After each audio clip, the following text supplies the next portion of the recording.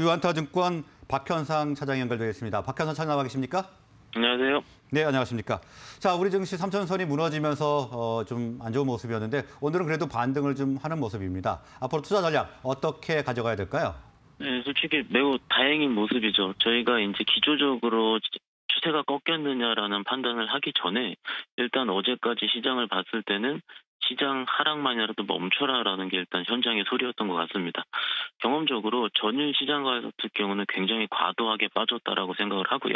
빠졌었던 원인 같은 경우가 특별하게 우리가 몰랐던 내용이 아닌 우리가 알고 있는 예를 들어서 부채 한도 협상이 18일까지 종료가 된다라는 부분이라든지 공급망 부족 그리고 인플레이션 그리고 국제금리 급 등 같은 기존의 시장에서 알려졌었던 악재가 크게 한 번에 떨어 한 번에 트립으로 작용해서 시장을 떨어지게 했다 보시면 될 것 같고 두 번째 같은 경우는 국내적인 부분을 봤을 때 가계 대출이라든지 증권사 신용에 대한 부분을 억제시킨다는 부분 자체가 한 번에 어제 주가 최근 한 2, 3일 동안의 주가로 떨어졌다 보시면 될 것 같아요.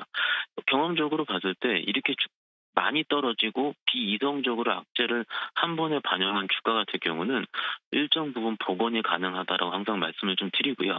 현재 기준 같은 경우에 대부분의 다른 언론 매체라는 이런 데 봤을 때는 지금 주식 비중을 줄여라 혹은 지금 포트를 슬림화해야 된다. 그리고 현금을 만들어라라고 말씀을 많이 하실 텐데 이럴 땐 항상 늦었다고 말씀을 드립니다. 이게 기존의 3,200포인트에서 2,900포인트까지 빠졌을 때 논리 같은 경우가 그런 논리가 살아있었던 상황에서 지금 그걸 다 맞고 이미 주가는 한 번에 반영을 하는 상황이고요. 여기서 만약에 주가가 조금씩 반등이 나오게 되면은 경험적으로 봤을 때는 valuation 메리트가 다시 나올 수 있다라는 부분이 시장에서 온기가 나오게 되고 그때 같은 경우 주가가 이미 3,100포인트가 넘어서 있을 거예요. 일단 항상 그런 소리들 같은 경우에는 늦었기 때문에 매일 우리 개인 투자자분들이 엇박자를 탔다 화가 난다 이렇게 말씀을 많이 하시는데 그런 면에 봤을 때는 지금은 일단 손절매보다는 일단 포트 슬림화 이런 쪽 보다는 일단은 지금 관망을 하면서 내 종목이 얼마큼 빨리 올라올지를 타진해야 되는 시기라고 생각을 하고 있습니다. 일단 오늘 시장 좀 보면서 말씀을 좀 드리자면은 지금 외국인이 487억 정도 거래소에서 매도를 하고 있고요. 기관이 282억 정도. 솔직히 최근에 판 매도 물량 치고는 굉장히 작은 물량을 솔직히 지금 지금 입장에 봤을 때는 헷갈려하고 있는 것 같아요. 최근 며칠 동안 시장을 봤을 때 제 기준으로 봤을 때는 오늘 시장에서 나스닥 선물이 플러스 나면 외국인들이 매수대로 저, 접어들었고요. 나스닥 선물이 마이너스로 접어들었을 때는 사던 외국인들이 갑자기 매도세로 접어들었습니다. 그만큼 심리적인 영향이 굉장히 큰 시장이었기 때문에 근데 지금 조금 전에 나스닥 선물이 플러스로 돌아섰거든요. 외국인들이 500억 이상 매도하다가 매도세를 조금씩 줄이고 있는 상황인데 일단 여기서 만약에 매도세를 줄여서 장중에 매도, 매도세가 플러스로 절어도 된다면은 저는 시장의 원웨이 가능성도 높다고 생각합니다. 그렇기 때문에 아까 말씀을 드린 대로 일단 내동매매 이런 것 같을 때는 굉장히 매우 심각하게 경계로 말씀을 드리기 때문에 내 포트를 꼭 지키는 것이 지금 많이 빠진 시장에서는 좋다라고 말씀드리고 일단 조금 더 연장선상에서 좀 말씀을 좀 드리자면은 이렇게 시장이 빠졌다가 만약에 오늘 지금 오르고 있단 말이에요. 오르고 있는 시장에 봤을 때 빨리 오르는 섹터 같은 경우가 시장이 주도 섹터거든요. 낙폭 과대했던 부분들보다는 일단 아직은 2차 전지라든지 탄소 포집 부분 같은 경우가 굉장히 지금도 강하게 올라가고 있기 때문에 특히 2차 전지 쪽에서는 동박이라든지 혹은 전해질 전해핵 쪽이 굉장히 강하게 올라가고 있거든요.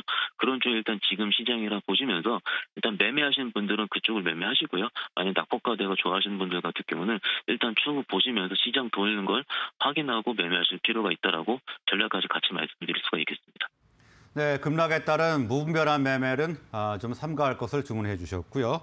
자, 그러면 오늘 어떤 주를 관심주로 갖고 계십니까? 일단 지금 뭐 이미 주가가 올라가 있는 2차전 섹터는 지금은 약간 늦었다고 볼 수 있는데 일단 좀 낙폭과대 쪽에서 좀 뽑아봤고요. 하마 콘덴서라는 종목을 좀 말씀 좀 드려볼게요. 일단 최근에 IT 쪽이 굉장히 안 좋은 부분이고 안 좋았음에도 불구하고 그나마 살아있는 섹터 같은 경우가 DDR5 쪽 에 들어가는 수동 부품 섹터였거든요. 근데 시장이 안 좋아지면서 그쪽까지 다 무너졌어요. 그래서 지금 같은 경우는 내년도 부분이 다시 한번 수동 부품 에 해가 도래할 예정이다라는 부분이 보고서화돼서 나오고 있는 중이고요. 공급보다는 수요가 구조적인 변화가 있을 가능성이 크다라는 부분입니다. 이와 같은 경우는 왜 그러냐면은 일단 사마 콘덴서가 역시 MLCC를 만드는 업체로 보시면 될 것 같은데 어, 말레이시아 공장이라든지 무라타의 일본 공장이라든지 삼성전기 중국 공장 같은 경우가 코로나19 때문에 전력 수급 이슈가 계속 있는 부분이지 않겠습니까? 그래서 일부 라인이 셧다운에 들어간 바도 있고요. 만약에 이런 전력 부분이 전력난 같은 게 계속되게 된다면은 이쪽 부분 자체도 어, 셧다운이 들어갈 가능성이 있기 때문에 그러면 경쟁 업체가 셧다운이 들어가게 되면은 중소형 MLCC를 만드는 삼화 콘덴서 입장에서는 단기적으로 스팟성이 굉장히 큰 호재가 될 가능성이 크다라는 부분 때문에 일단은 사마 콘덴서를 좀 준비를 해봤고요. 일단 굉장히 최근에 많이 빠졌습니다. 많이 빠졌기 때문에 자료라든지 가격 면에서는 부담이 없다라는 부분 말씀을 드릴 수 있겠고요. 지금 수준에 봤을 때는 충분히 어, 부담이 없는 부분 그리고 목표가 같은 경우는 정고점 부분인 6만 5천 원, 손절가 같은 경우 5만 원 제시할 수가 있겠습니다. 네, 관심주로 삼화 콘덴서 분석을 해주셨고요. 목표가 6만 5천 원, 손절가 5만 원 제시해 주셨습니다. 오늘 말씀 고맙습니다. 네, 감사합니다.